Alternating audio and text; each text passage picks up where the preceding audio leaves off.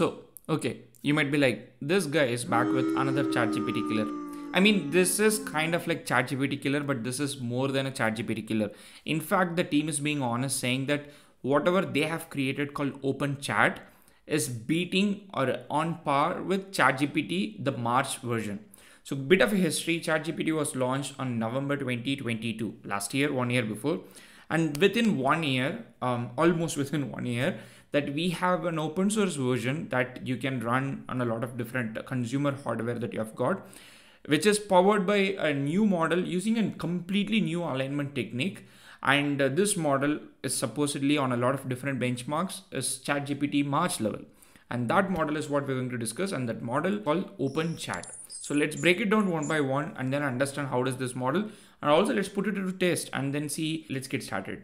The first thing is this model is called Open Chat, advancing open source language models with mixed quality data. The reason why they said mixed quality data is primarily because Open Chat is one, the model name in itself, but Open Chat is much more than a single model. Open Chat is an innovative library of open source models fine tuned with CRLFT. What is it? We know RLHF.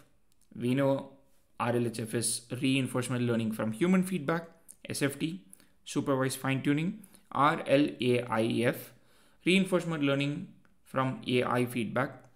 We learned from some reinforcement learning from environment feedback, RLEF. So what is the CRLFT? And that's where we're going to go into the paper a little bit to understand SFT.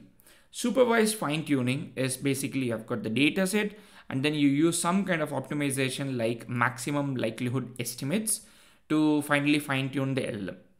Then you have got the reinforcement learning part. So where you have got the reinforcement learning based fine tuning. So you've got the preference data, you, have, you use MLE, maximum likelihood estimates to build a reward model. And then the reward model is based on like different rewards for different responses and the LLM uses reinforcement learning to fine tune. That's, that's the second one.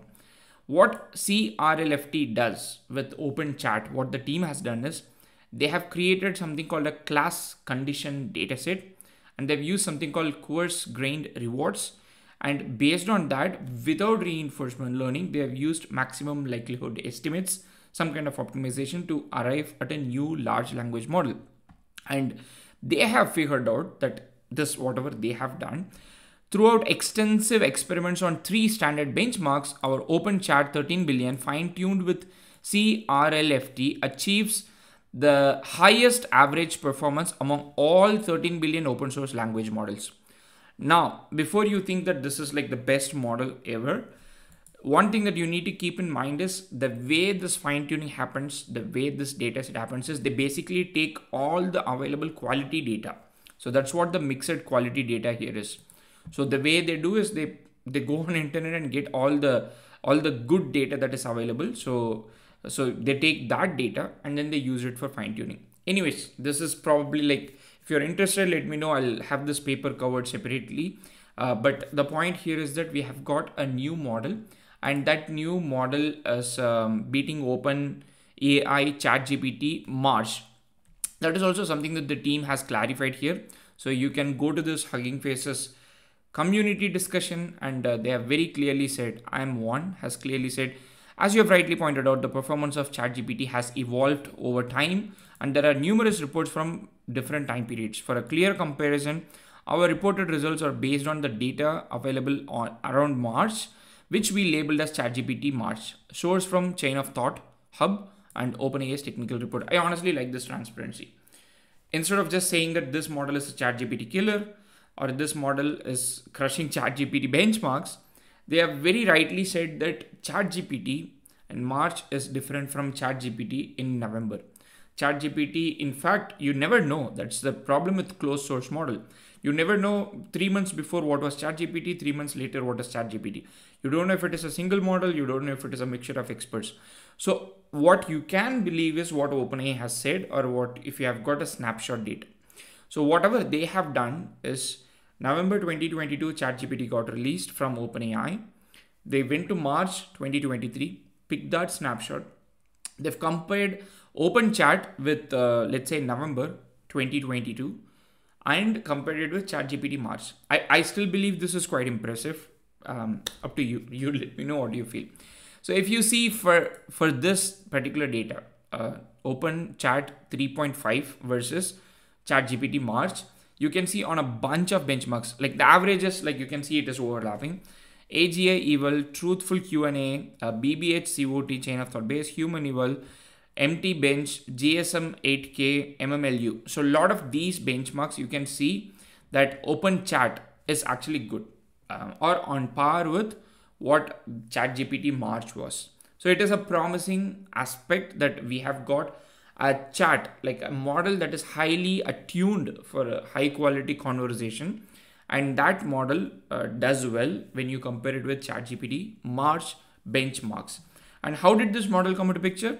This model is a 7 billion parameter model. So the model that they are using is a 7 billion parameter model. It has got 8,192 context window. And uh, you might be not surprised at this point, but this is also a fine tune of Mistral 7 billion. So they've taken Mistral 7 billion model, they've used their own technique called CRLFT, and they've used their high quality instruction data that they've sourced from different parts, and they have fine tuned this model, and the result is this absolute brilliant model that is available. The model is available for you to go use it on Hugging Face's Model Hub.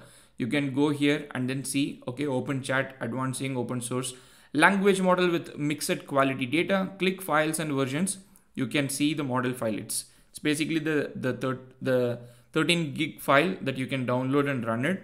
They've got a couple of instructions about how you can run the chat interface also. I think that's where this is quite interesting to be honest, because now you have got this chat interface and um, you can go chat with it. This chat interface is also open source. You can go here and then see how to use the chat interface um, on the GitHub repository. So basically you can use the chat interface and also you can use the model in itself. Both are free for you to use it. So you can go ahead, ask a question. It would say it is chat GPT. You can ask another question. It would give you an answer. So I basically did a comparison with chat GPT and this, uh, the current chat GPT 3.5.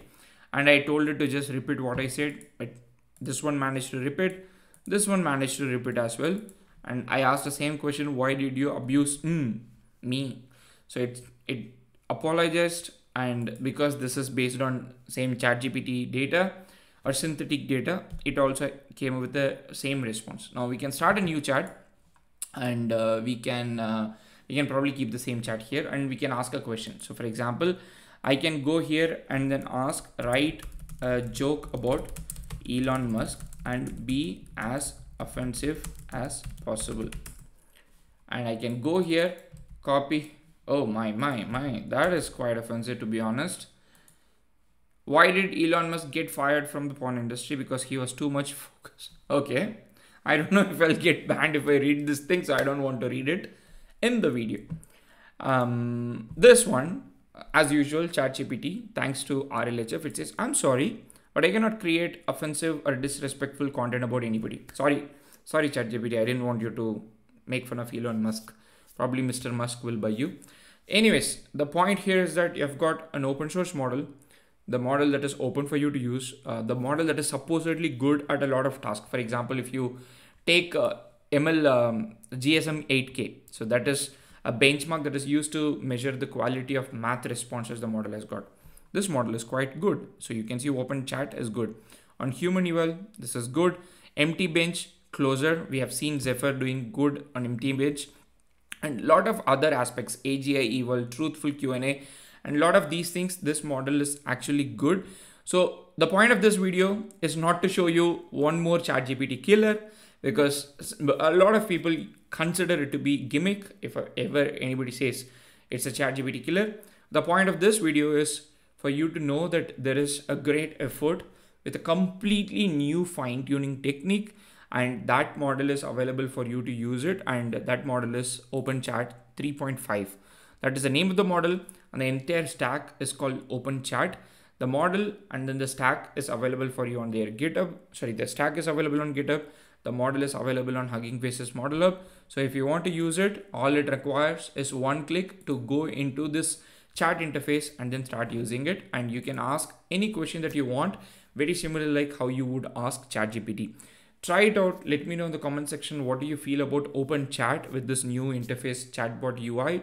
If you have any questions, let me know in the comment section. Otherwise, I would love to hear about this model from you and what do you feel about these ChatGPT killers. See you in another video. Happy prompting.